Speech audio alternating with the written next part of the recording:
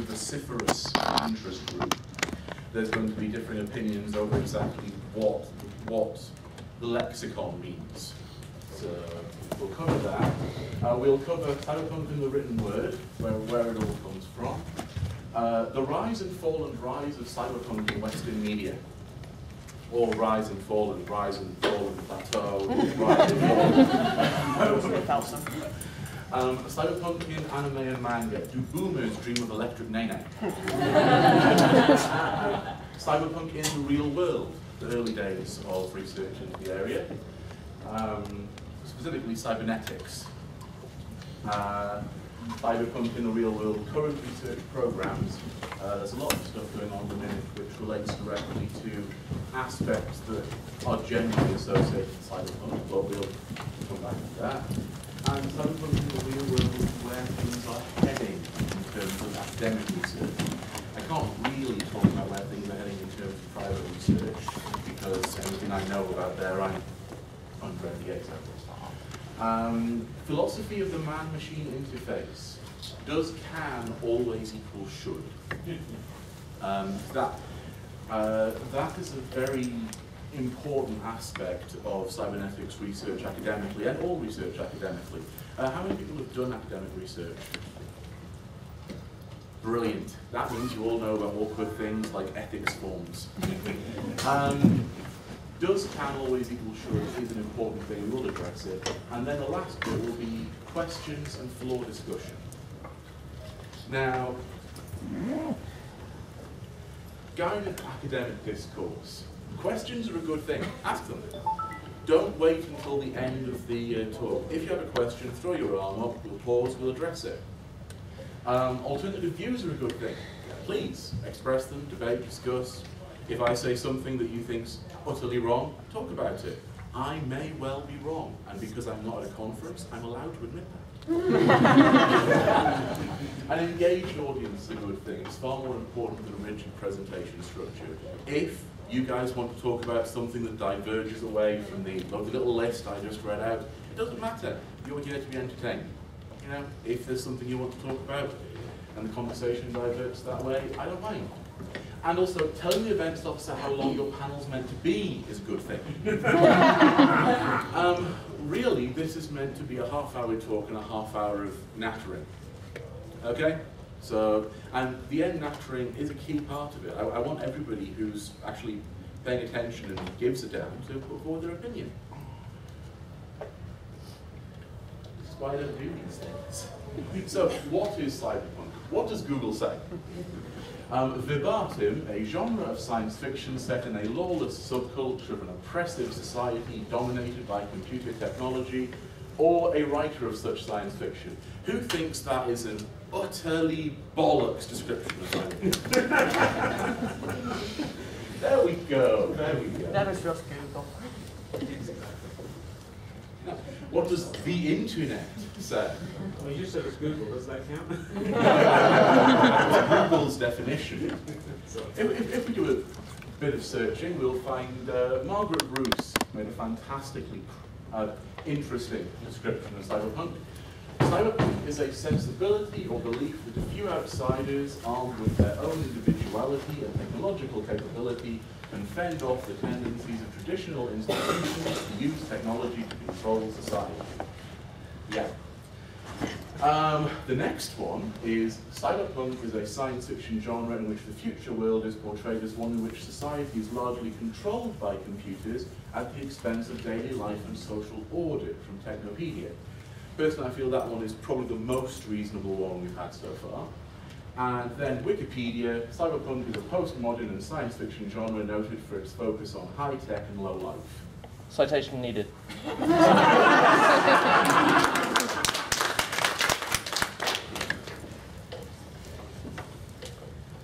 Right, and when I asked a bunch of fans what they said cyberpunk was, they gave me this.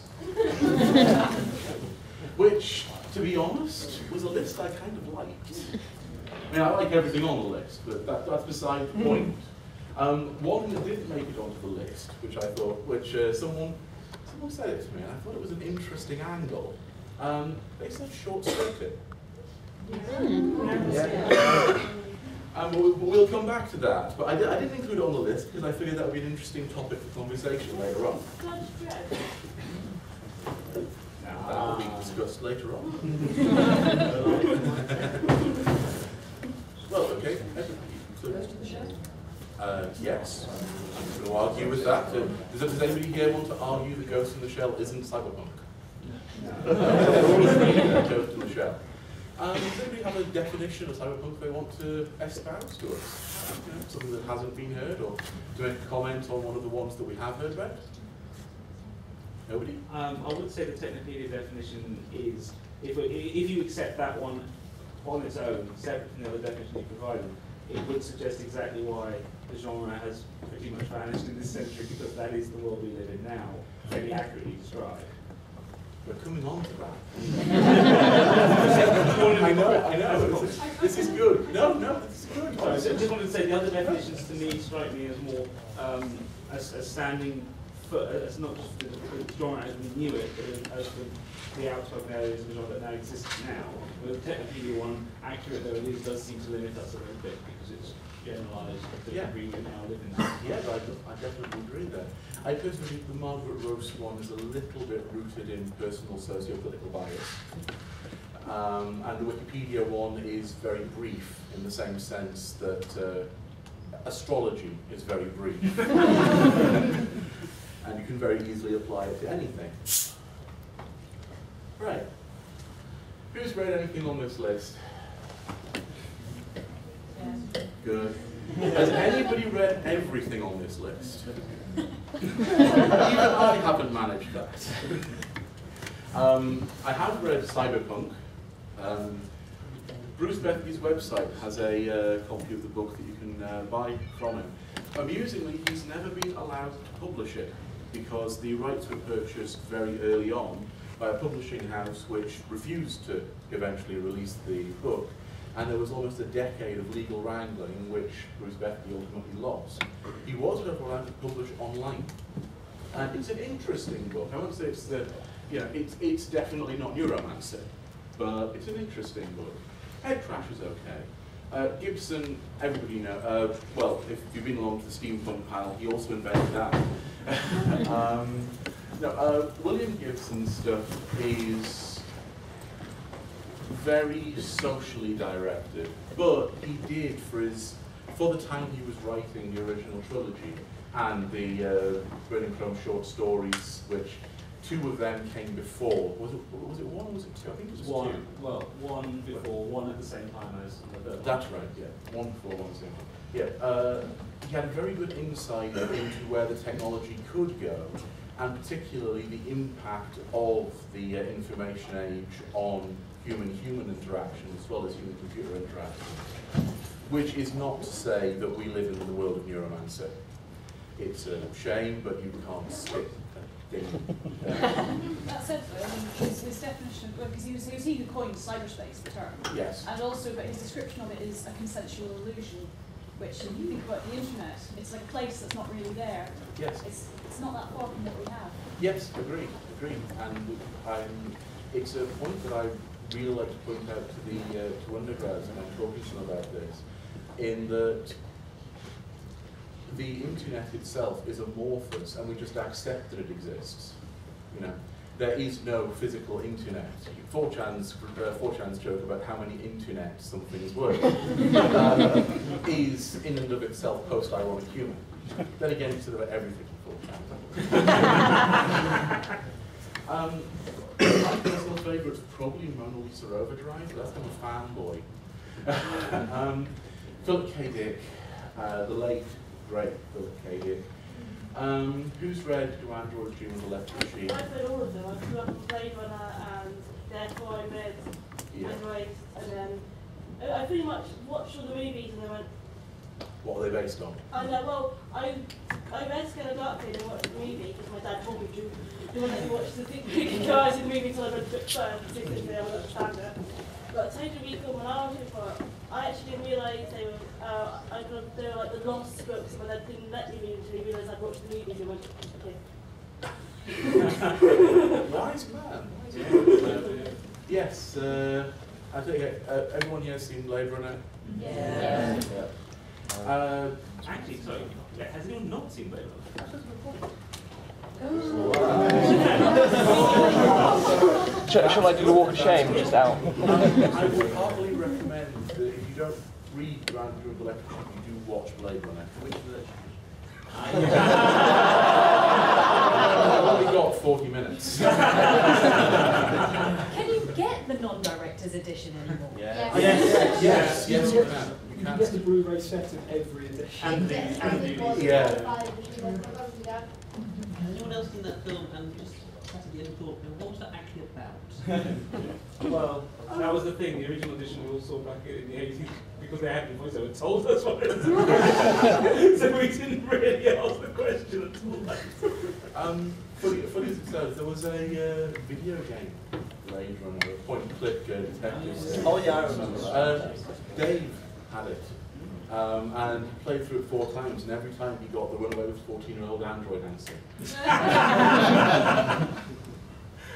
um, and Neal Stephenson, less known, lesser known, um, and probably not uh, not as insightful as uh, Gibson and not as interesting as Dick, but worth checking out if you're interested in, a, in an alternative viewpoint. Again, he's more academic social, I suppose is the best way to describe it. I mean, hi- hi- his, his early stuff before he went into proper cyberpunk was uh, all all uh, self-hating irony about the academic establishment. There's a lot of self-hating irony in the academic establishment. It's Snow Crash film as well. Yeah, it's coming now. directed by Joe Cornish. Really? Yeah, it's That I did not know. Announced two weeks ago. Ah. Okay, the social and cultural backdrop of uh, the period when the initial books were being written, things like Neuromancer, which set things up. Um, yeah, the 80s were kind of shit. I mean, I adore the music, I really do, the best thing they did, but um, there was a great deal of depression uh, thro- throughout, throughout Western society, except in France. France did very well during the 80s. Um, yeah, yeah.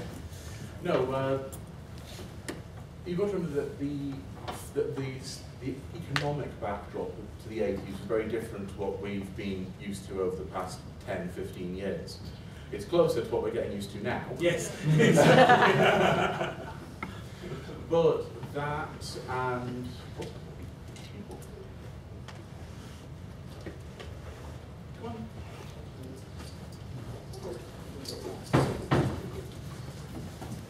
Whether or not people want to admit it, and whether or not there's technological debate about it, there was war on. Um, and it's it's actually not something that I'm qualified to talk about because I only remember the very tail end of it. All. But that's all as well. Um, but I mean, very, um, really simply put, it, it, it, it, it used to have we call hot wars, so World War One, World War Two. There's clear violence between nations and actual declared conflict. By 1970, it was quite standard for a lot of countries to have a lot of very, very small wars going on around the world based around economic interests opposed territory. You weren't after owning land, you were after owning the oil or minerals or diamonds or uranium or nuclear plants. And often you didn't fight, you just paid people locally to fight. So you get a situation like, um, you can go even, even as far back as Korea or Vietnam, you get the Russians get- getting, getting the Chinese to do something, with the Koreans the Americans getting the Koreans to do something, and so forth. And so that was, a, the Cold War was a war that was never called a war, and we all lived with the idea as civilians that this stuff could actually spill out, because in, at least in World War and World War Two, it was seen to be armies, even though civilian deaths became a huge part of, of both wars. And by the Cold War, when I said when I was growing up in the 70s and 80s, we all thought, and schools and universities made it clear to us, that these things could spill over into a bigger nuclear war. And so by the time I went to school in Switzerland in the 80s, I went to school with nuclear bunkers, you know, with shelter bunkers built into buildings, and it was standard, even the block of flats we lived in, because Switzerland took nuclear, you know, nuclear holocaust as a serious issue, being a nation that's technically neutral and has its own army. So, um, you know, a lot of part of the social cultural backdrop was absolutely this idea that in, in a world where we were getting more things to buy, new technology was happening, and all this other stuff was happening, we could still wake up tomorrow morning and find someone who pressed the button and we were all going to die in 20 minutes. and this was something unique lived with. Yeah, that, And, that's pretty much what I was and there was also, um, in the 80s as well, there was the Chernobyl incident, which obviously made the nuclear Um, reaction. Yeah, uh, we have to cover that. Uh, my first degree was physics, but I moved into computer science, and we have to cover a chunk of that in the second year. And do you know the actual technological reason for the Chernobyl incident? I don't, I was quite young. Wasn't it unplugging? Turning off safety cooling features in the reactor when they ran tests. Yes. Being Soviet And well, no, no, you, you, you can't you can't say that. But what you can say is wanting to make sure they weren't doing it the way the West was. Um, Western nuclear reactors are built on a very simple principle. The control rods are dangled above everything by a cable. And if worse comes to worse, you send in one guy, he dies, but in the process, he cuts the cables and the control rods fall in. Chernobyl's control rods were actually uh, installed sideways, weren't they, Duncan? Okay, Well, so- my speciality so is in nuclear engineering. But so when the, uh, when the uh, motors broke down, they weren't actually able to insert the control rods. That was one of the reasons they were critical. I believe they were also they were also uh, aiming to rush the test because of an upcoming national national holiday. Yes. And the controls They themselves also got a spike in were power. DN. Yeah, it became unstable Yeah. at So low they power. actually incre- caused quick output as they went down. Yeah.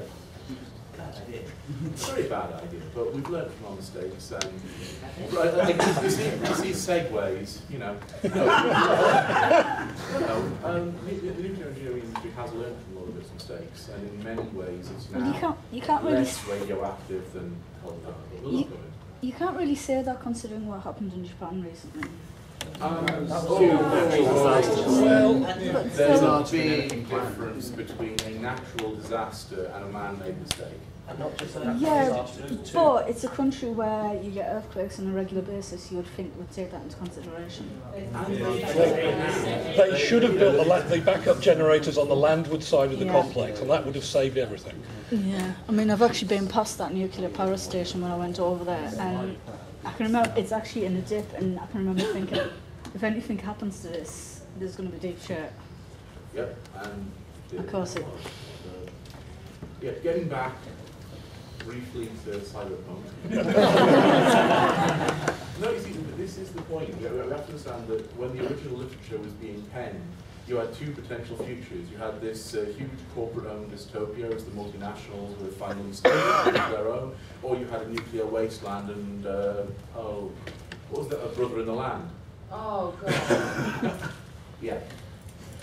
Um, and this is where I tend to think that uh, Gibson was slightly prescient because he essentially foresaw what Facebook and Twitter would do to the world. You know, a, a complete change in the way humans interact with each other and a complete change in the way privacy is uh, considered. Um, was it uh, Zuckerberg who said there's no such thing as privacy now? Yeah, it. Yeah. yes. You just shared But, but, but, I, but I bet you that he signed on the complaint about battle.net and the, and full, the real name on the forums. yeah, so uh, the rise and fall and rise and blah. Yes, as I say, uh, so Robocop I tend to consider a very seminal cyberpunk. Um, the uh, all, all of it's there. You know, you have evil corporate America, you have the military industrial complex, you have big ass guns. um, you have in the third movie, we don't normally mention the third movie, but in the third movie you have little girls who plug into random portable supercomputers and all sorts of funky crap going on, and you have questions about the nature of humanity and life, which has been a running theme throughout Cyberpunk. Um, total recall. Um, yeah. The original. Sorry, just to clarify. Yes. I think that the remake is pretty much a shot for shot thing of the original anyway. Sort of. And it's yeah. still rubbish. With 100% less Arnie and 100% less Mars. Now, while the book had neither Arnie nor Mars, I have to admit that, you know, when I, when I was 15, I thought Total Recall was one of the best films ever made. Especially the bit with the Johnny Cab. Uh, the Lawnmower Man. Um, very, very good film. Um, a lot of people, uh, amusing when I was talking to people uh, in the department, I, I said I was going to give this talk at a convention, they said, you're another. Um, but no, uh, they said that a lot of them felt that The Lawnmower Man was more a social commentary than an actual cyberpunk film, but personally I think that it was a marriage of the two. Well, at the time, the reviews were all basically putting in line with the typical Frankenstein stuff. You know, it wasn't, people at the time didn't receive it in quite the way that I think, it, I think now we, as we've moved into a more modern culture, it has been, become recognised the film that was doing Yes. yes. what the time. Yeah, I agree. But uh, yeah, I heartily recommend watching any or all of those films. Um, Would you say something like uh, Kathryn Bigelow's Strange Days is a good one? Yeah. I Yes. think it's kind Yes. of like, it's got everything. It's got a kind of nuclear wasteland of what you were saying one side is, and it has Yeah. the postmodernism with the whole big corporate conglomerates of that other side. agreed, agreed, definitely. Um, are there any role players in? Does there cyberpunk, really good cyberpunk, going like Yeah. all corporations? Yes. I was going to say, Shadow Shadow Imagine having to go to Shadow- the role-playing games, Yeah. Shadowrun and... Um, um, We Will Rock You as the musical. I know it's really weird, but it actually is. I mean, the style and the fact they've got the whole the, the, the radio gun is all about plugging in and all their names of like at at um, Yeah. uh, emails. It's like my like Killer Queen at thing. Yeah. something dot- at gaga's radiogaga.org dot and that's pretty much what their names are. I recommend I see, I, I, I, I'm actually familiar with the musical, I haven't Yeah. seen the stage production. Uh, yeah, that, that is an angle I honestly hadn't considered. Yeah, I mean, I I, never think about it, you know, that I, I, I've not considered cyberpunk musicals. but- Hey, these stranger things have happened. I personally thought the idea of making Lord of the Rings into a musical was a bad idea. But that's because Kirsty knows all of the verses to There Is an Inn. Why does not surprise me? Yeah. Yeah. Um, so the accidents. Um, where things happened after the heyday in the 80s. Um, now, I include Judge Dredd because a lot of people dislike it. Personally, I think it was a very entertaining movie. Yeah. Um, I enjoyed the cinematography. I even enjoyed Stallone as Dredd.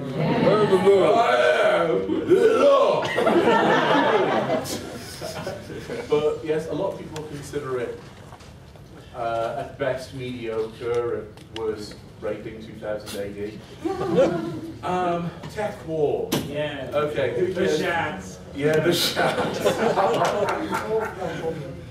Who here has actually read any of the books? Uh, it's all ba- it's all based around a series of novels that Shatner didn't have ghostwritten. for.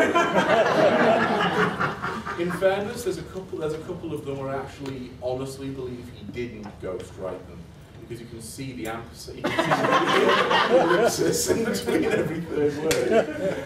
Um, VR5. Who remembers VR5? Um, that actually, along with Empire Strikes Back and Short Circuit, determined what I was going to do with my career. Oh, wow. Yeah. And RoboCop, the television series, which had a brilliant ending theme, and I liked the inclusion of the girl's brain as the computer that ran the city. But by and large, it's considered to be poor television. At the same time, uh, the 90s was a rough time for television science fiction of any stripe, let alone cyberpunk. When cyberpunk was essentially telling you by that run that in the 1980s, cyberpunk was telling you what you you know what might be a problem, you know what, what you what you might have to deny yourself in the future to avoid this terrible ideal. Um, but by the time RoboCop the television series and TekWar were coming out, it was saying this shit that you think's really cool that's coming out in six months, don't touch it. it will end the world and society as we know it. So. what were the views on Matrix? It was the fall and then the rise. uh, the Matrix. I think it's uh, it- uh, that's my personal opinion, nor my opinion as a as cyberpunk. Cyberpunky. Um, I think a, a cyberpunk, it's essentially a post, I, I consider it a post-cyberpunk Yeah. story. Essentially, it's what happens after cyberpunk. Um, I, I think that what charities did say it best when they said it's androids versus kung fu. Yeah. I mean, Yeah. actually, it boils down to everything else is just dressing, trappings, and cool shit on top. And yeah, but people trying to install meaning. yeah, precisely. But ultimately, I enjoyed it. I, I I enjoyed the first one. Um, the, the, the third one I tend to equate with Babylon 5 Season 5. didn't have mecha. season 5, what, what season? I'm saying, they- they- they- I'm saying, I'm just saying. At least we got. Oh, no, no, no, person no. to make back- Again, brief segue. The mecha in the sec- in the second and third uh, Matrix movies. You're go- the only way your evil robots can kill your very biological humans is with giant metal claws, right? so when you build your giant robots, what you do is you put your very soft, squishy human in scaffolding. Just saying. Yeah, it's I a know. I know, It's step know. closer. Yes, it, it, wa- uh, who here ever seen Code Lyoko? This is something more for the younger crowd. Yes. Yeah, I've seen it too. It's okay. Um, I enjoy it. Um, I, I'm, I, it's not great television. It's kids' TV, but we're, we're an anime convention. You know, we watch cartoons. Um, and in many ways, I, I, I- it's something that I have on DVD. It's something that in three or four years I'll show to my cousin's son as an introduction to, uh, to, to essentially what was science fiction to our generation. I've, I- I've already shown him Mysterious Cities of Gold. Um, the remake of Total Recall, which we already briefly covered, um, people are throwing money at what was considered a, a, a money sink in the 90s. Uh, we've got the new Neuromancer movie coming out. People are essentially, I'm not sure why Hollywood thinks it, but my personal opinion, you know, I, I, my personal opinion is that during the 80s, cyberpunk was what people thought might happen, and now it's relevant. You know, cyberpunk is actually relevant to modern society. Not all of it, you know, we, we still don't have cyberdecks. Um, opinion beyond existence. Ah. It's a very good question. I think, uh, honestly, that's a very good question. Can can I just say that on that note, you have to give kind of a props for being ahead of the curve. If you go back to scanners, yes, yeah. then scanners, even though you've got someone brain hacking down a phone wire, that is essentially a Yes. visual representation of what def- we're talking about. Yeah, Um, so I, I, you know, that it has to be said, the guy was ahead of the curve on that. yes, He was- without doubt. Um, and in fairness, uh, Verhoeven Mm. uh, during the 80s was, uh, I mean, okay, again, because Blade Runner was uh, Triangle of Electric Sheep, everybody equates Ridley Scott with uh, kicking up cyberpunk Hollywood in the 80s, but really Verhoeven took, took the ball and ran with it. But it always takes Europeans to look at America to come up with the idea. It's, it's us looking out. Yes. Because Europe wasn't like that yet. You know, we're looking at Japan, we're looking at America. And we, it, it, it, it's so much of what these sorts of movements develop. Gibson's Canadian. You know, a lot of the other sci-fi authors who predated him weren't American. They were British or British, who were really sort of moving into those fields. It's almost like we're looking at something and going, oh God, this could be us soon. Yeah. I suppose in many ways we were.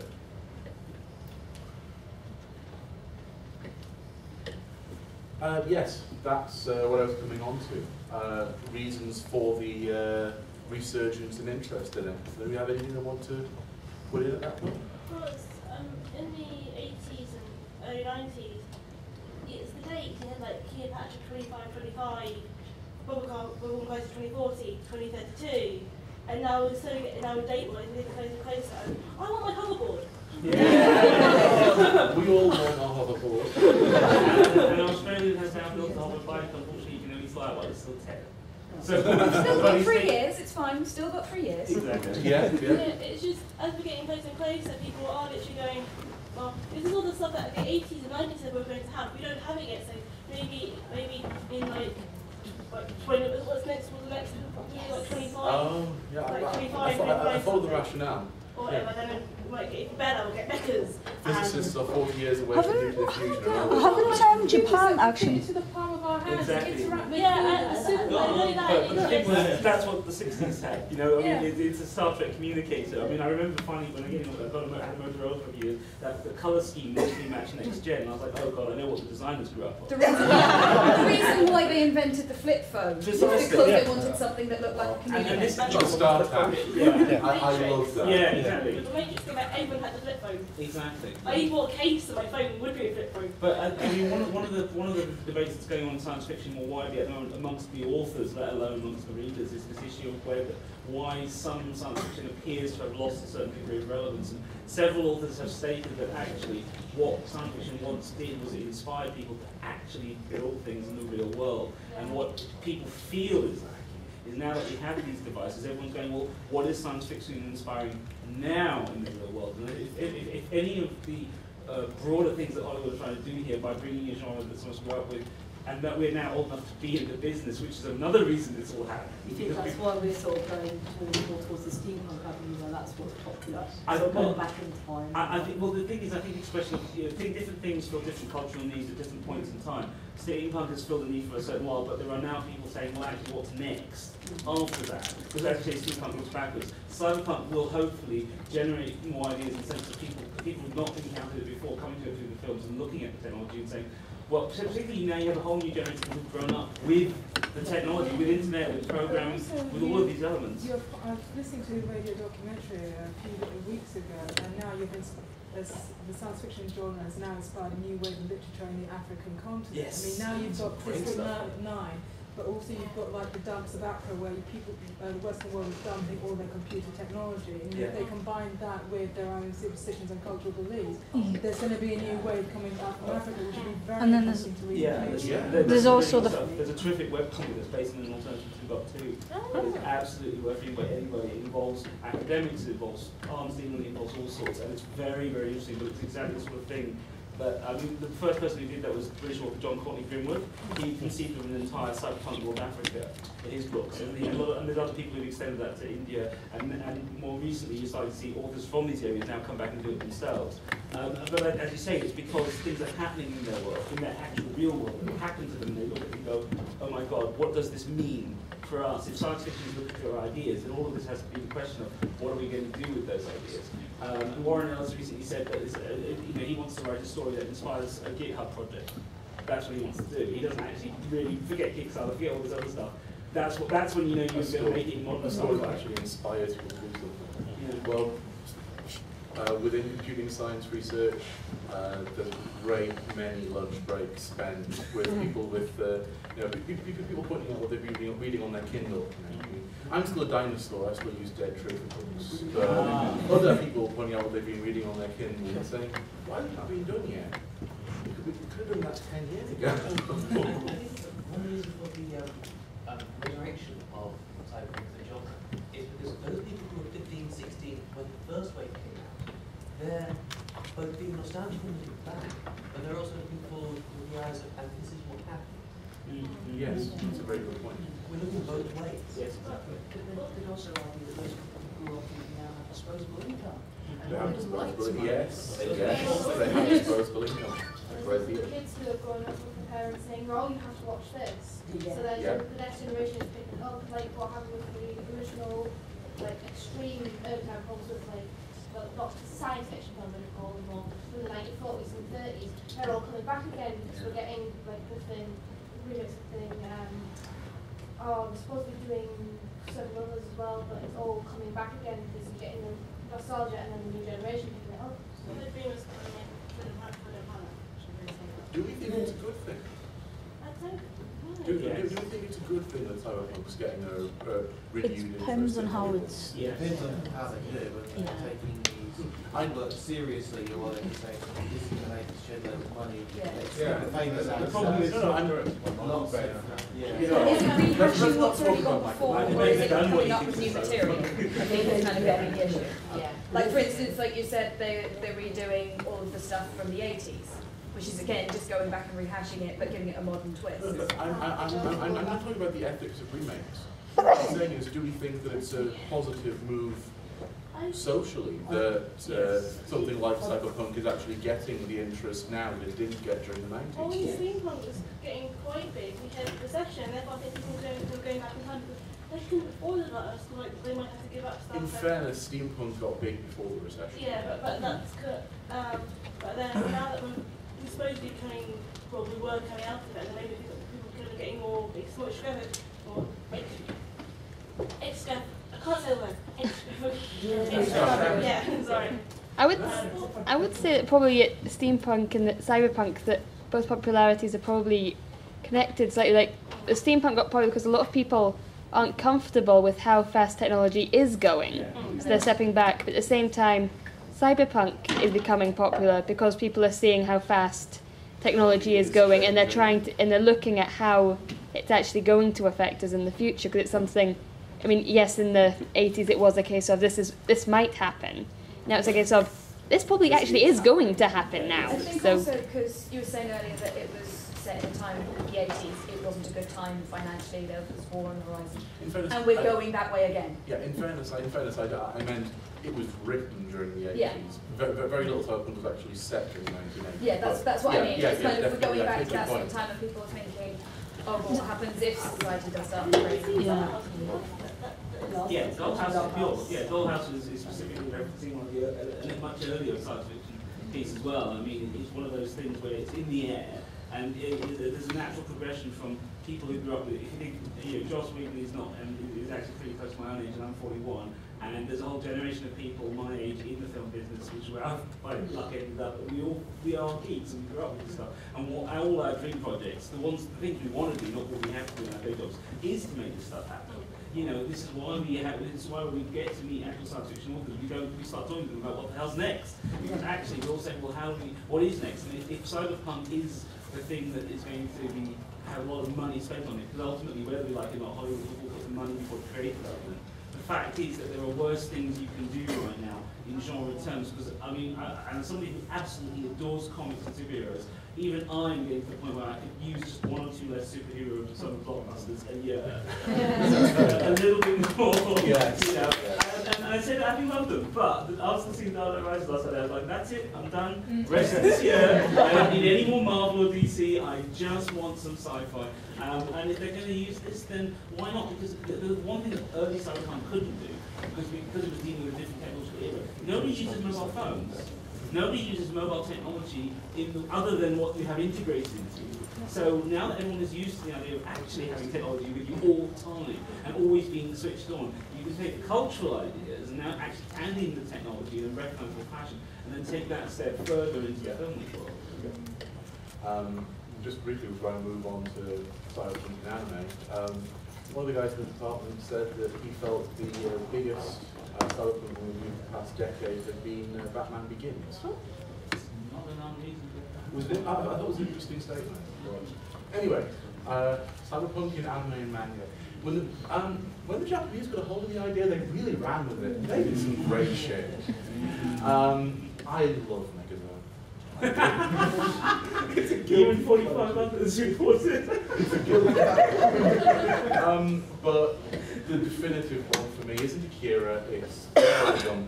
Yeah. Um, in all its stripes. I know 2040 gets a hammering and everybody loathes Crash, but really, I can put that in and it's all good. I, I can watch that, you know, a day and a half with, with, with occasional pizza breaks. I'm fine, I'm fine. No, uh, Bubblegum, I always felt very nicely caught the uh, corporate, uh, the, the corporate corruption angle versus new technology, while not falling into the trap of making an overt social commentary. Um, the social commentary is there, but it's never really thrust in your face. In 2040, it's more so. In 2040, the commentary is more obvious. But in the original Bubblegum, you know what? It's Blade Runner with girls who occasionally get naked before they climb into robotic suits. I couldn't really complain about that. um, A.D. Police and Parasite Dolls with the same universe. Uh, Akira, yes, it's good. It, I, I I know it's fashionable to say Akira's crap now, but I still enjoy it. I can still put it on, and it's two hours I don't feel I've wasted in my life. um, Paprika, I didn't expect to enjoy that, but really, I thought it was fun. Have you read the original book? No. They, they, they had translated into English, and the author in question also wrote Go Away from Time, and very much into the science fiction we're talking about. I mean, I would easily put the fact of the book in within the, dro- the wider parameters we're talking about. Oh, about that, which I- Uh, Dominion. Hey. Now, this is another guilty pleasure. Puma, Puma, Puma. Yes, there is. Yes, there is. The first two are better than the TV series they did. Yeah. Uh, yeah, the OVAs were better than the uh, run of the, the, the later run. But personally, I still think it's all good. I think it was fun at the time. What I find most interesting about it is the comparisons with Ghost in the Shell. Um, Well, in terms of tone, Dominion is your proper cyberpunk. Uh, everything is black, everything's shot faded, everything is horrible dark future, but it's funny as hell. you know, it is a it is comparatively light-hearted in its approach, and then you get Ghost in the Shell, which takes the idea of dystopia and turns on its head completely and says, actually, you're, you're, you're living in a te- technological utopia, isn't it crap? Um, that's more obvious in the standalone complex stuff. You know, the, the original movie was all very dark and grim. It Well- the humour. The, the original, the movie Yeah. says more about Oshii Yeah. than Yeah. it says about Shirow. Yes, yes, Yeah, yes, I mean- agreed. agreed. Shirow wrote um, Dominion Tank Police first and then went straight on to Ghost in the Shell afterwards. So, It was, uh, as I say, it's it's just an interesting dichotomy within the anime that uh, I always find I get, a, I get a much better laugh out of watching Dominion and find I, I feel a lot better after I have than sitting down and watching four hours of standalone complex to to question what I'm doing with my career. Even the talking to the, um. Even the, even the talking to the Even the talking Tachicomas. You know why? Because down that path, madness lies. um, Solty Rei I include just because I'm self-indulgent. I was about to say, that's so your choice. No, uh, Solty Rei actually I found was nicely light-hearted cyberpunk. It was still cyberpunk. It had less corporate involvement, but it was still your uh, it was still your post-technology, if you like, and it had character designs, uh, which is which made me happy money. Uh, Metropolis. Who here hasn't seen it? Right. Um, there's an HMV. really, you must watch Metropolis. If you get the opportunity, it is worth it. Yeah, avoid the manga. Manga is not very good. I didn't the manga in this like Um, I found that the manga, depending on who you ask, it's horrible. I don't think it was too bad, but uh, I, I know what you mean. Uh, Burst Angel. Um, this was really big about three or four years ago. Yeah. Um, I really enjoyed it. It, it is it is definitive cyberpunk. Uh, It's Charlie's Angels. so- it's Charlie's Angel cyberpunk. with yeah. boobs. yes, yes it is. Um, now, the most thought-provoking thing for me on the list is Dennou Coil, which doesn't tend to get lumped in with cyberpunk, but really it is. You know, depending on you, depending on your point of view, and a great many things depend upon our own point of view. Um, Dennou Coil, I think, was one of the more thought-provoking uh, anime of its uh, of its season, and probably of the you know two or three years around it, in terms of what technology meant to the individual. Um, who hasn't heard of or seen Dennou Coil? Um, concept of Dennou Coil was essentially uh, augmented reality world running in parallel to the physical world that you saw essentially through glasses that you put on. And the impact that has on uh, social interactions. And I actually went back and rewatched all of Dennou. Oh, there's in the industry. I rewatched all of Dennou Coil after that brilliant article from uh, Google about their glasses. Still waiting. Still waiting. Still waiting. Well, there- There's a rapid sci-fi project around, around that period. I mean, negotiations and that, yeah. And more recently, now I haven't, I was, actually, I haven't seen this yet. It was on the video program, but I was busy. Apparently, it is cyberpunk, The book was, That's- Human augmentation and just. We're going to get into human augmentation. It's, uh, Put it this way, well, the, the, there was a, I think the version of Mardock Scramble that never happened would have appealed to you more than the version that's ended up. Yeah, I thought. Just one before we quickly move on. Can I throw one over to yourself in the panel? Uh, mentioning Robocop earlier, well, Patlabor?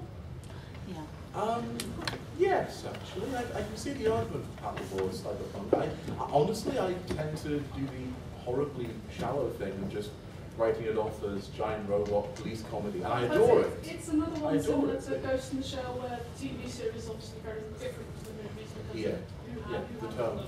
Actually, yes, definitely, definitely about Pat, Patlabor 3. Yeah. Definitely think about Patlabor 3, yes. What about Serial Experiments Lain?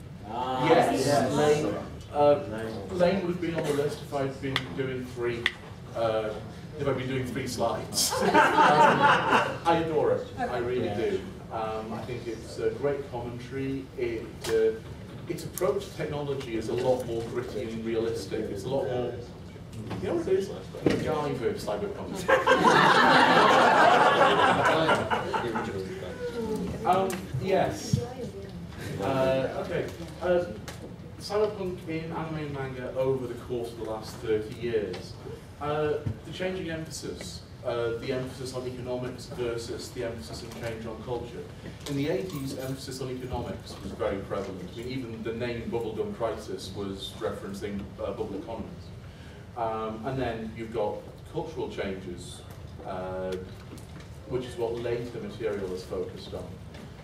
Um, that and girls with boobs and things blowing up. But that's sort of been a running theme, and it's not what I'm going to complain about. Um, the uh, is dystopia really dystopic? Yeah, that's uh, what I keep coming back to with Ghost in the Shell.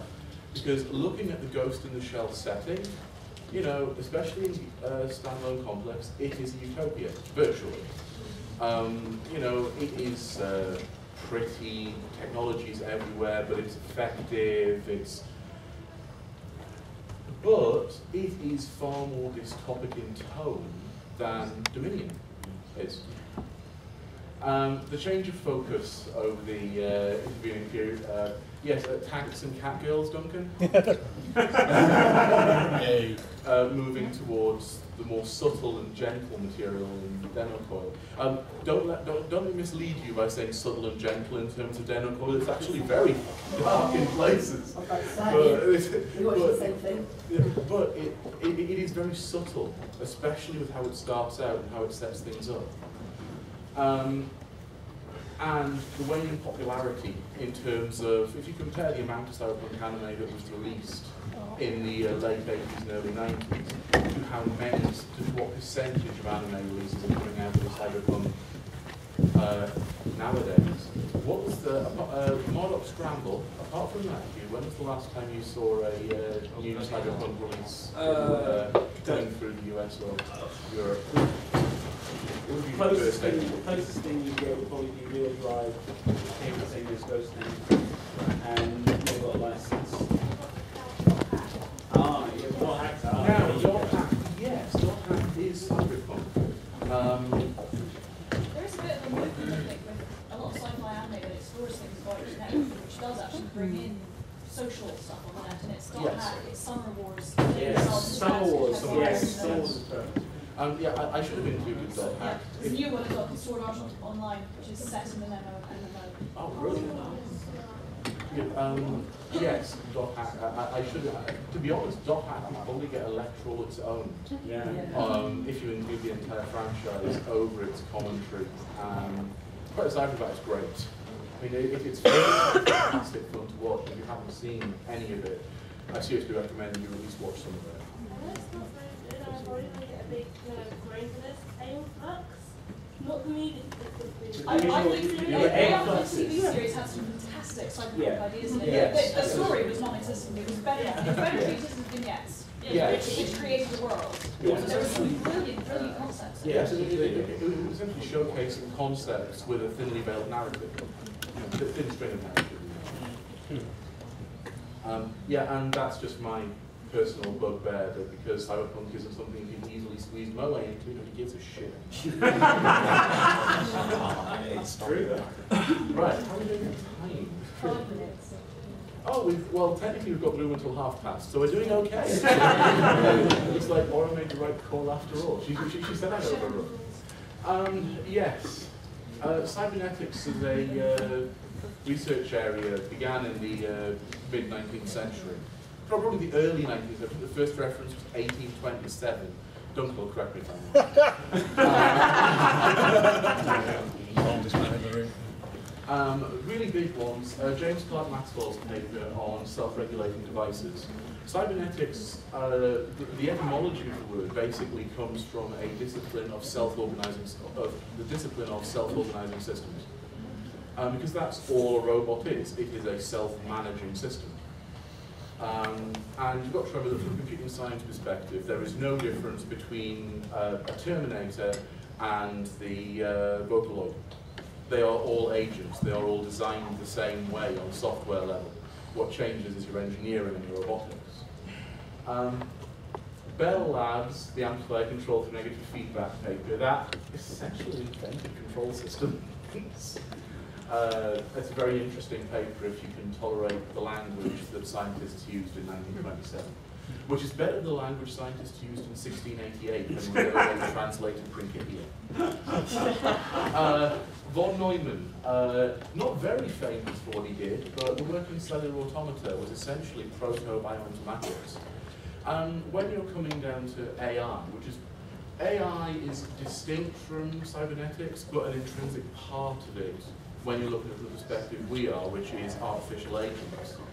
Um, the concept of uh, cellular automata essentially led into what we call bioinformatics, which is looking at biological systems and saying, how can we replicate that? The most common example is uh, artificial neural networks. Um, the, where you look at the fact that the human brain is a, is, a, is a partially connected neural network of several billion neurons. Let's try and represent that on a computer. The best we've managed so far is an American supercomputer that managed to replicate a half a mouse brain. It was particularly stupid half a mouse. but they did manage to get some correlation between things that they might expect to happen to a half a mouse brain, if a half a mouse brain could exist without the other half. Was that in real time or was that with a That wasn't real time. that wasn't real time. But the, the, the uh, results were very interesting and it sort of made people look again at neural networks in practical sense. Did it just say stuff.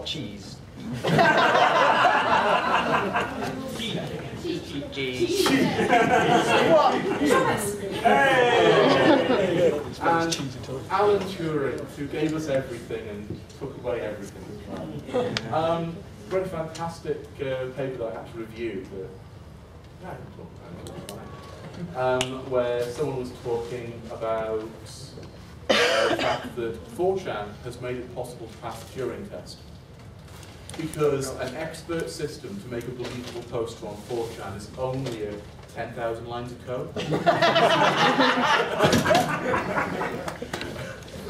It says more about 4chan. Yes, quite literally memes and stock insults. And you can make a, you can make a person that you, you can make a poster on 4chan that nobody can tell isn't, isn't a regular poster.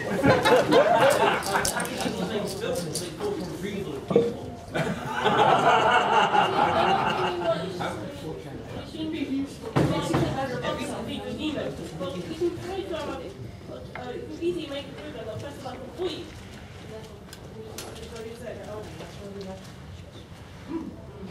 Yeah. Yes, uh, 1970, people started paying attention to robotics again in a non-industrial making cars sense. Um, yeah, briefly, uh, Skynet and the concept of the machine that can kill somebody. I bring this up because we're discussing industrial plants and cars. It's very easy to build a robot that kills somebody.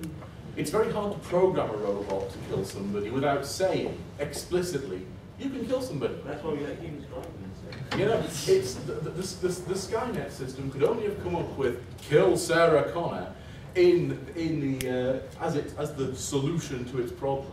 If some wanker who designed its uh, genetic algorithm had put in the uh, the, the elements kill Sarah and Connor through a few generations until it came up with it. Um, yeah, biological analog, We've already touched on that. Multi-value logic systems, which is what I do, well, what I did, I do other things though.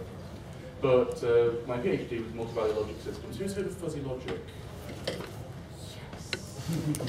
Uh, Zadeh, God among men, invented fuzzy set theory, and essentially let us create what we call the linguistic variable in computing science, which is where we say, kinda. Someone is kinda tall, there's the fuzzy set. There's short, there's tall. Someone kinda tall has a membership of kinda tall that falls in there. They're, you know, five foot eight, they're probably 0.8 kinda tall. um, and elementary robotics, but not in the microelectronics sense that we tend to consider it nowadays. Um, current programs that are ongoing, no reactive prostheses, these have been in development and research for well over a decade now. Um, we've yet to get, I've yet, I've yet to read anything which actually says one has been successfully implemented in the way everybody wishes they would be. Um, but there's a lot of literature out there you can find on Google Scholar, which is great, by the way, for those who have an interest in any topic, use Google Scholar. It's how, it, it- it's how most real academics pad out their references. um, no reactive prostheses, you say the hand, say I have an accident at the door and the hand falls off, um, load, in, load, load in nerve endings around there, put on no, uh, sensors that can detect them, and we essentially calibrate the system for a robotic hand that moves on the basis of if I mentally try and move the thumb that's no longer there, it takes a record of what the nerve impulses were when I was doing that. Do that a few thousand times and potentially with a system that works. As yet, to my knowledge, we've yet to, it, there's yet to be a one that properly works in the way you'd want it to. But there have definitely been very positive experiments where um, I think I saw a one where you actually saw the robotic hand doing that, which is a massive step forward in the field. Um, it's making it do that consistently that's the problem. Um, hmm, yeah. Um, Is there going to be a need for that though, with biology progressing as quickly as it is, Um, stem cell research and everything else? That's a very good question. And to be honest, we're going to come on to that in a bit. But it is a very good question. There is some things that work kind of the other way around, like uh, cochlear implants and stuff, which it's rather than trying to get messages out of your body, Trying to getting messages messages in. into your body. Yes, And also quite a few um, sort of brain scanners and things which work directly on the brain. yes. Um, in fact, um, a bit of military research and development that recently published a paper, so everyone can talk about it, was uh, actual uh, put, uh, sensors on a helmet which permit, which uh, could fire and track targets um, on the basis of uh, the of nerve impulse. Um, augmented reality, that's been in the works for ages, you know. But I, I- despise the term because I don't think it's augmented reality personally. I think it is a it's essentially a parallel reality. Um, or at least it will be by the time the technology is actually brought in, because we're, essentially evolving along the track that we would be if the technology was here, to the point where by the time technology is here, we've already bypassed it. Um, but, but, but, it, it'll come. Uh, the, the Google spectacles, when they come out, will be a massive one. Uh, Sony are already there, to be honest. They've had, uh, they've had projection specs for ages. They just never thought of using the technology that way. So they will. Event- Eventually someone will wake up. Um, and it'll be interesting. I personally don't think it'll be good, but it'll be interesting. Um, no, the, the, the augmented reality stuff is you, you put on your set of glasses, Oh, right? yeah, And I look over there and my and the GPS built into the glasses says, I am at this location in this room of this building. So I can now see where all the fire where all the fire routes are, the instant fire alarms go off and my thing's updated and say there's a fire room. It's a very it's very it's very clever ideas. Um, I've just had a thought. With the whole augmented reality Google Glasses, isn't that just a more thorough, better take on the whole VR system that early mid 90s? Yes. Giant headset. Um, yes, essentially. It's combining that VR tech from the mid 90s with the uh, with, with with essentially the digital information age. The fact that your your your iPhone or your Android phone can tell you anything about anything, any location that's got 3G connect that's got 3G connection. Um, blend the two, and you essentially get an information overlay um, which, other than Dennou Coil, was expanded to include virtual pets and see your little virtual doggy as it runs around, and all kind of creepy. Kind of combining the idea of augmented reality and Dennou Coil, and like the internet in general, do you see anything where, say in the internet you could buy a domain, would you be able to buy your plot of land that your house is on and put augmented reality? things Second Life. on Probably in? America. Yes. Yeah. Probably in America. Um, that's uh, yeah. Second Life is so big in France, the fact that the, the party I, said that. no, no, I, I, I, I think they're meaning actually buying, Like bu- buying, buying a physical representative in the world. That's saying. virtual That's what I'm saying. in the physical Any country that's already got used to the idea of virtual real estate will transfer quite more, more readily by the public to the idea of saying your actual house. Yeah, It's virtual domain around the house. It'll be like buying airspace. yes. The question will be whether or not uh, countries that aren't really used to that concept would consider it invasions Yeah, of of uh, privacy. You know, do you, do you have the option to force deactivate what somebody else has done on their house? Should you have the option to force deactivate what somebody's done to their house if you're on the same virtual server, etc., etc.? Um, but yes, I can definitely see that sort of thing coming, um, probably in a decade or so. The legal thing is very difficult because obviously Queen owns all the land in England, that's why we have like registers and things like that. So maybe she earn, own all the land in vir- or virtual That's, augmented? well, that's, have actually compared but um, Berkshire County Council do actually have a planning portal for, they did have a second life planning portal, and then I imagine they'll preparing augmented reality, so some councils are actually putting this in place.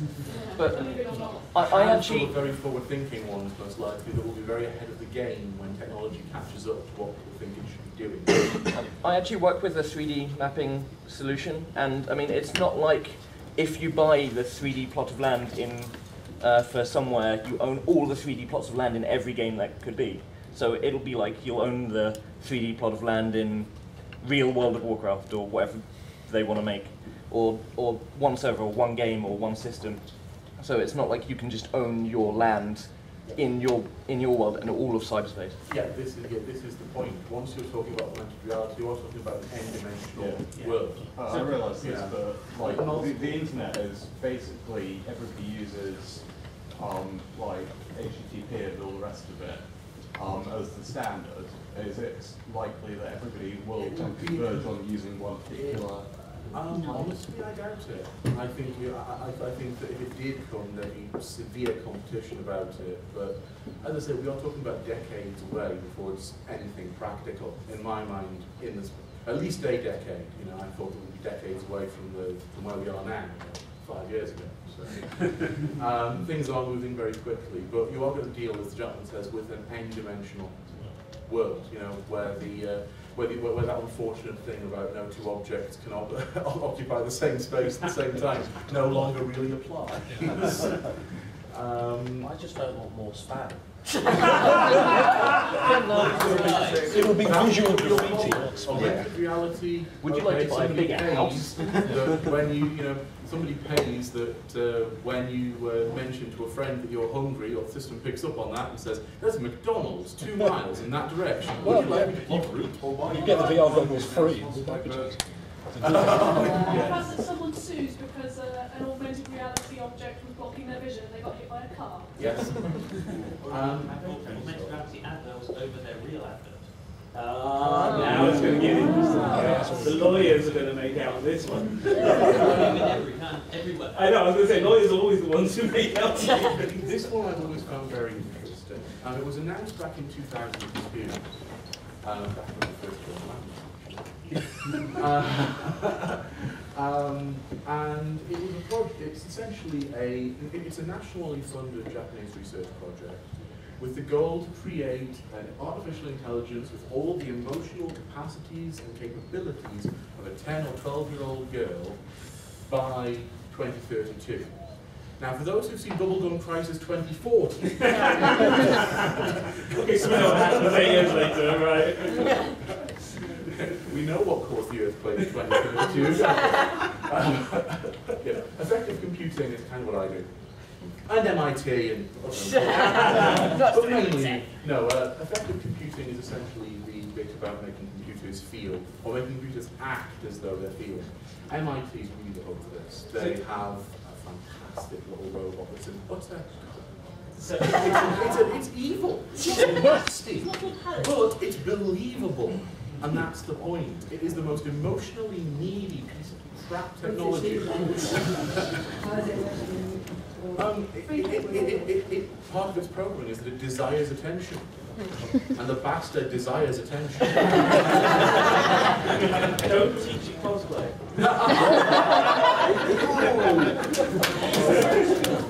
right. And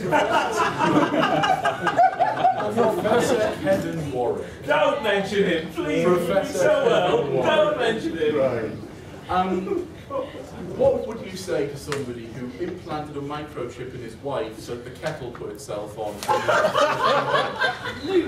would you would you say he has the sexual politics of a man raised in the 1950s? This thing's so polite. um, Professor Kevin Warwick is a visionary in his field. It's just personally, it's a field that I think we shouldn't be exploring. Professor Kevin Warwick is essentially the, pi uh, the pioneer in the UK of wetware technology. Sorry, can I'm sorry. I really feel that you really need to preface that with the fact that he is his biggest promoter. And while I understand Yes. now reaching the era where all scientists do need to promote themselves as brands, he has developed a cult around himself that frankly sells him in a way. I mean, I've been to panels and things where I've got seen him live, and I've seen people who worship Ellis Speak stand up and do it for him, and I am terrified of the idea that this guy is genuinely ahead of the curve because he he, he, he never could reproduce everything he he goes to the TV with suddenly is not reproducible when he's up in front of you in an actual panel. You know? That's yes. Sorry, I just the ones I've seen. I definitely wouldn't criticise another scientist's findings Yeah, uh, evidence, but the uh, his work is very interesting from a certain perspective. It's about uh, essentially, remember I was mentioning the nerves and the detectors? It's essentially bypassing the middleman. You just shove all the hardware into the human and see what happens. Which I find, despite the fact that I work in the, I find that hellish creepy. Quite Deus Ex Human Revolution. Shove it in your own body.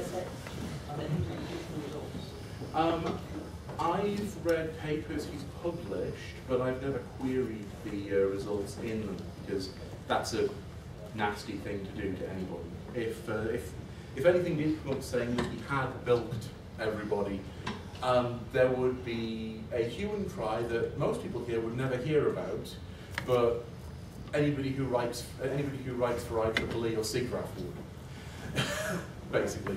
But he's made a point of making sure that the wider public do hear it. I mean, one of the things I think is Yes, but they would never hear about what happened. Well, that's, uh, well, that's what, I mean, that's the point I was trying to make. I mean, If, if, if anybody screwed up in that way, uh, plenty of scientists get pulled on uh, st- on fudging their research. It's it, it's a it's an occupational hazard in many ways of reviewing papers. How many times were how many times we've you heard about it on the news? Yeah. For me, in the past decade, there's only been the climate gate. MMR? MMR. MMR. Hmm. And they're clothing, training. Yep, and that's three out of what? Two hundred thousand academic papers written, written and published every year across all the across all the disciplines. And uh, if, if only three of uh, you know two million papers have been based on uh, There research. was someone, I can't remember his name now, but it was in the astrophysics community, um, where he was getting to the stage where he was being considered for a Nobel Prize. And Yes. someone blew the whistle on him. Yes, And they that. suddenly realised that everything he'd done from his PhD onwards was crap. It's fudgy, yes, I do remember that. And it was, they did it by analysing the, um, analysing the statistics. Yep. But is fudging a real problem? Look at Gregor Mendel, he fudged his result, but now we know what he was doing is actually proven to be true. Uh, I think it's a different situation. When you're talking about fudge numbers, you aren't talking about fudge results of what happens if you put a microchip in somebody's arm. Um, I mean, I actually, uh, Jerry Mendel, who did Hydrogen Fuzzy Logic, I uh, ripped one of his papers apart in my uh, first paper. A paper that he co-wrote with my PhD supervisor. um, that, that was a fun conference. Uh, it was, it, it was a simple enough mistake that they made, but you came up with a better solution to the problem. Anyway, what will happen in the near near future? The current projects, will they deliver? Nobody knows. You know, I will definitely be getting augmented reality. That that's a given. Um, we'll definitely, I would say, we'll definitely within the next 20 years get get suitable robotic replacements for limbs. But by then, as the gentleman there pointed out, I suspect the entire topic will come down to uh, individual preference over whether you go for a robotic replacement or a biological one. Um, robotics, not in the sense the media thinks. We aren't going to get Johnny Five, which is a bitch. Because people love that robot. We are getting a remake of Short Circuit. which, we are getting a remake of Short Circuit in which the Johnny Five robot is found by a poor little boy from a broken home who Mm. teaches him about love.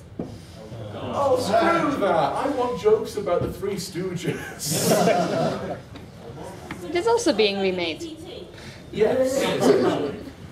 Um, robotics. We will get more automation in systems. We might, within 20 years, finally get somebody who's willing to let us test a robotic car on a road for more than 20 minutes. Um, but the fact of the matter is that robotics as a uh, field is stymied by is stymied by microelectronics. It's no longer stymied by computing, which used to be the problem. Um, but it's now waiting for microelectronics technology to catch up and materials physics to catch up to the point where things can be made that are really useful. Um, but no, we aren't going to get androids by 2030. It's not going to happen. Probably it won't happen in my lifetime. Um, cer- certainly not the way we see androids in Bubblegum Crisis, which is a bitch. Yeah, we, we have Asimov. Which is not a boomer. oh, I, I don't know. I think it's worth the risk. Skynet first. Uh, Skynet, not going to happen.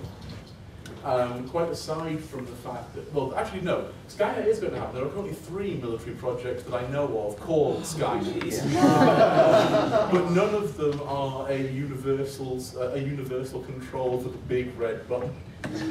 There's also the Japanese company Cyberdyne, which makes robotics. no, I saw that. I thought it was hilarious. You have to wonder if they knew or if they just got really drunk and said, yeah, let's just do this. Yeah. We all, yeah, the, the marketing guy thought it was great until 2.13 Eastern Standard Time. so, Skynet, not going to happen in the way that uh, everybody thinks with evil mega computers taking over the world. It's outside our ability to program. And we can't yet write programs that can rewrite themselves more complicatedly than we could write them if we took an extra, you know, 20 or 30 or 40% of the time to do it. I'm just wondering, what about um, that computer in the Eagle Eye movie? The Eagle Eye movie, there's a Oh, computer yeah. that's Eagle Eye with a bit like Flesh Sky- and, Skynet. um, Oh God, I, I'm sorry I don't watch Shia LaBeouf movies after Good for the, you. the first. It's basically a remake of that kind of that 80s style film done with post-Transformers Spielberg money and effects. So. The important thing to remember is that for a computer to do anything, it has to be programmed to do it. You know, Intel inside, idiot outside. um, unless someone is dumb enough to actually program a computer to automatically fire all the nukes in the world, it's not going to happen. And anybody who tried to put in something like a, uh, self, a self-critically updating uh, genetic algorithm, which is probably the, which is pretty much the only mainstream way of generating uh, emergent behavior in systems, genetic algorithms through multi-agent systems. Isn't that Um, what Summer Wars is basically about? If, if anybody was dumb enough to plug something like that into a system that could annihilate the world, then as a species, we've probably had our run. but but it is, it is not going to be the case of one day Skynet woke up and said, ooh, humans. um, robotic limbs are feasible. You know, as I say, they're, they are feasible. Whether or not they'll be useful in time to get them is an open question. Um, Cyberdecks, who cares? I mean, I thought it was great when I first read it, but realistically, you have a P5 glove with augmented reality glasses, what more do you need? You, you can mimic almost everything that a cyberdeck does through that system, just through haptic uh, control devices that we already have. You know, you plug in additional VR components into it and you're there. You don't need to plug jack anything into the basiest spans. Um, true wetware. Oh, that's where we come on to this. Does can always equal should? Um, no. Personally, I think that it behooves all scientists to consider whether or not their research is worth it. Um, How do you know what's worth it at the time though? 'Cause It could come you down make to your it best many years judgment. later. You make your best judgment. How about we do some actually, who, think- who thinks it's worth it? Who here thinks that being able to tell your wife or husband that the kettle needs putting on when you're two minutes away from home is worth installing a microchip in them? Isn't that what Siri does? or how many of you would send a text message? I will. Given the difficulty of digital phones uh, in our current if we can give you the option to say, take a break, remove it, put it in the jar. That's prosthetics, that's not wetware. It, it requires the same technology. You to Um, be able to take things in that's prosthetics, it's not wetware. That is taking some, that is taking something out of the human and putting it into a robotic setting. It is essentially, essentially a whole body prosthesis is what you're talking about. Wetware is a convenience issue. And to be honest, I still think it would be kind of creepy to put a human brain into a robot. I understand the rationale. I also don't think it would work because I think you'd find the brain, that you have, you'd still have brain death before you could feasibly get to proximate. I, I think you would still, no, but I, I- see your point. I just think that by and large, personally, I think that wetware isn't something that we need. We already demonstrated that so much technology we can essentially miniaturize and carry around with us. There's no need to actually build it into our heads. Um, but that's because I'm old. you know, I mean, I am very, I, I'm, I'm a stick in the mud. I'm like Duncan. You know, I'm- in the nicest, nicest possible way. But you talk about augmented. Wouldn't it be nice not to wear the glasses for augmented and have it already in your eyes? Well, why would you do that? You have contact lenses. Why not? Because it's already there and it's not interfering with your eyes in any way then. Um, well, On- there's- on an there's- external- I think if you- you've got an if you've easy answer around you. Look at how many people are still wearing glasses in an era where Yeah, contact yeah. lens technology has reached Yeah. a point that a lot of us don't need it and laser surgery. How many of us are still more comfortable with a device attached to us as opposed to mm. Which you can take off when, when, when you don't need it. I get. If it's implanted, you can't, you don't have that choice. Yeah, What exactly. comes with wetware is you can't remove it. Not easily, you know, it's a surgical process normally to insert wetware. Yeah. That's what uh, Professor Warwick does. It's a surgical process to install it. It's a surgical process to remove it. Personally, I'd rather just take off the augmented reality Yeah, glasses if- and finish if- the book. Yeah, if your VR glasses get a virus, you take them off. But Yes, yeah, exactly. We, if you're ready, if you're ready to be hacked, literally And brain hacked. This is where we go back into shadow work. Oh, I will say it's quite interesting. How do you turn your eyes on, on and off again? Well, that's the trick. You actually- you actually- Johnny the Forge's virus.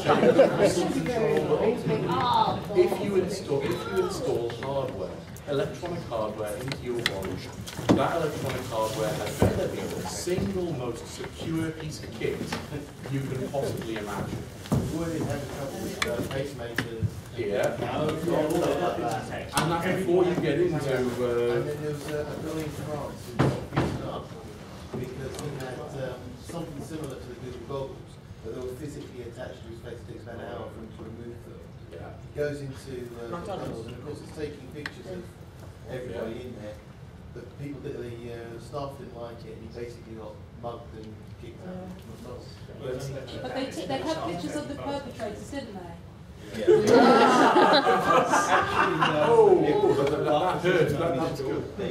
Um, I don't know how relevant it is to wetware, but I do know um, I did that it, for a lot of people, especially I'm going to talk about religion here, so don't hurt me.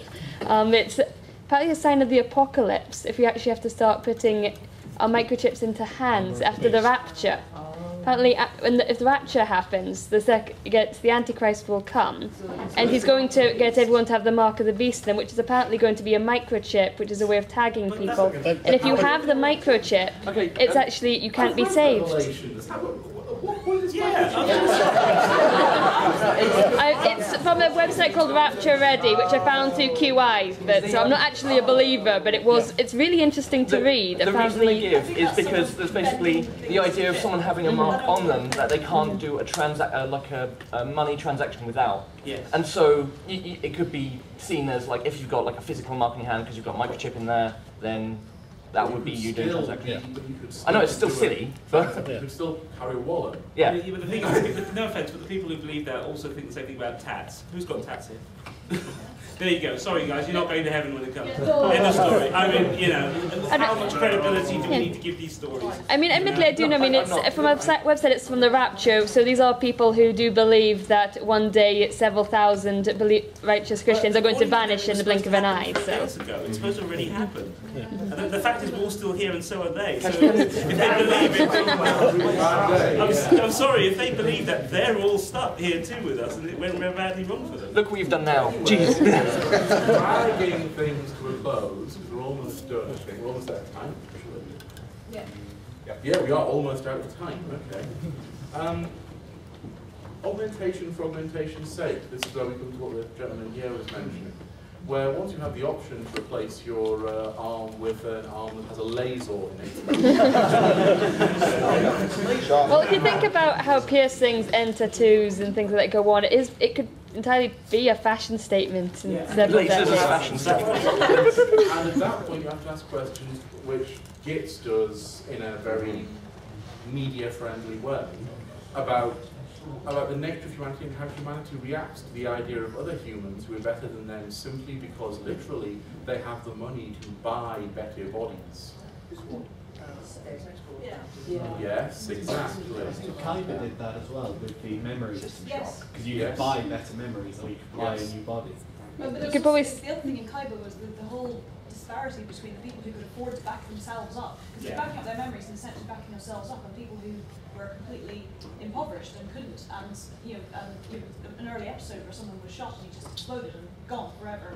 And it was just like, oh, why would you back yourself up? And it's, you know, it, it was this kind of the subclass of people who couldn't do that and, and had this very finite existence, whereas anyone who was wealthy could essentially live forever because all he needs to do is remove the chip and put it into a new avatar. Yes. Yes, you could say that about Repo, the genetic opera, as well. A little. Yes, exactly. Oh, Very God, well. yes. Where people, Yes. when, pretty much, when people that, that were pretty much made to be whatever they wanted for like the day, month, the year, but they literally got to go, I want a lover who is also particularly an assassin, and that's what I get. I mean, ultimately, ultimately, does it not come back to Gibson's own statement, which is that people find certain uses for things? We, you know, we can all speculate, but none of us will know. Exactly, exactly. We, we will all be surprised, I think, when the tech happens, what will then be done with the tech. Yeah. So the question becomes one merely of personal opinion. I mean, obviously it's going to happen. You know, if the augmentations are designed, someone's going to use them. Personally, it's not much of a body, but I think I'd like to keep it. See, if I wasn't, I ended up opening my nose, but something to my ear, so my ear actually works. So I'm too young to know what else I was put in there. 'cause- But, but that's not augmentation for augmentation's sake, is it? No. You're doing that for a good reason. You're, you're, Yeah. you're doing that, you're doing that I for mean- medical purpose, I not mean, I because you can want a laser in your I arm. can understand medical purposes. Um, I'm a, I work in the care industry, so I've seen what kind of where this kind of stuff is needed. But I, I'm fully, I'm happy to do like augmentation for medical needs and how people walk, to help people pretty much live. Okay, well, um, whole thing about being a sport worker is having people work independently and getting back stuff that they, their bodies are them know, doing. I'm fully prepared to have that to happen with, with consent and things like that, but not for fashion, not not just to be. I mean, what do they do like an Olympics? Like drug, drug testing now, they're going to have like augmented tests. Um, actually, uh, Red, actually, Infinity Welcome's Careful Drivers addressed that point of what happens when genetic, when genetic manipulation is the Olympics. Um, and just the last point here. Yeah, the only way you can figure out what will happen when people augment their bodies for augmentation sake is if you actually gave that technology to teenagers. no, I'm serious. Look, No. you look what Facebook and Tumblr and look how what they grown and developed into, how it's used and how it's abused. And then your mum and dad get it, and it's horrible. And then on the same topic, you can think of all the middle-aged women who have had boob jobs just because they want to have one. There was one guy who was into piercing, put a magnet just under his skin so he could attach uh, one of the iPod Nanos onto his arm as a watch. when he was running, he didn't have to have a, a bracelet or strap. So what happened when he goes through TSA scanner? They'll look at of measure the fingertips and feel Yeah. the current. Yeah. Now that's useful. That's Iron Man pumps. Right. This has been absolutely great. You've been a great audience. We are going to have to knock it on the head because we who want this room now. So thank you all for coming. It's been lovely.